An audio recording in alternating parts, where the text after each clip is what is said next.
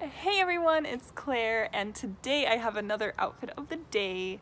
As you can see, I have my hair in braids. I'm wearing some jewelry here just to spice up the outfit. This top again is from Forever 21. Also, while you're here, go ahead and like this video before we get even further in and subscribe if you're new. And yeah, so here's the top from Forever 21 super cute and floral and summery. And this is what it looks like. Hooray! And then I am wearing, okay, so let's see. I am wearing some blue jeans that I got from TJ Maxx.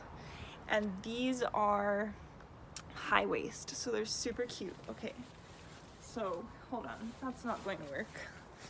Let's see if I can find a good way to show this and I know some of you prefer the camera to be super still. So yeah. That's the outfit of the day. Okay so let's see. Here we have the high-waisted jeans and these shoes again these sandals from Target are super cute. And then I did my nails a little differently today. The light pink color and the jewelry that I tend to wear in general. and yeah, so super fun, flirty outfit for the day.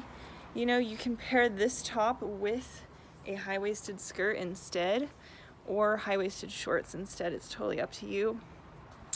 And I hope you enjoyed. Have a great rest of your day and I will see you guys next time. Bye.